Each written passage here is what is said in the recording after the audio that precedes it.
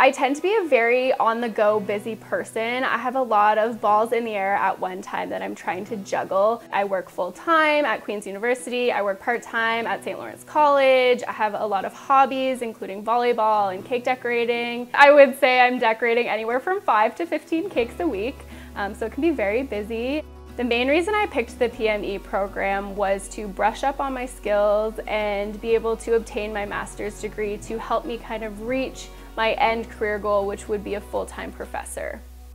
I chose the online program specifically because of the flexibility it provides for me. It is all laid out for you right off the beginning. It fit really well into my life and into my future career goals. So, so far so good.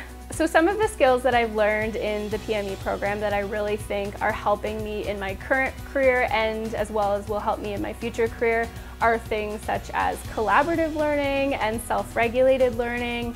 It really sparks a interest in being able to apply what you're learning in the PME program to what you're doing in your daily job and it's often very closely related, especially being in the teaching world. You're getting your work done and you're getting your course done simultaneously, so you're, you're building those skills within your career before you have even graduated from your courses. The courses have a very interactive aspect to them and I think that they have done a really good job in the program of allowing students to still interact even though you may never meet the person face to face.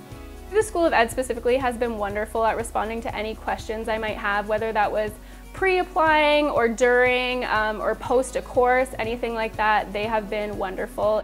I really do believe that doing the Professional Masters of Education will progress my career further. Queen's ended up being a great option with providing this program for me and it fits into my life very well.